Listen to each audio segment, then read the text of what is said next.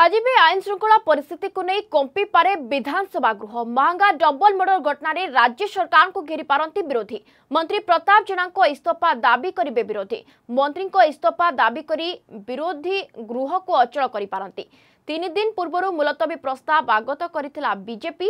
ମହଙ୍ଗା double murder ଘଟଣାକୁ ନେଇ ରାଜ୍ୟବ୍ୟାପୀ ଉଦ୍ବେଗ ପ୍ରକାଶ ପାଇଥିବା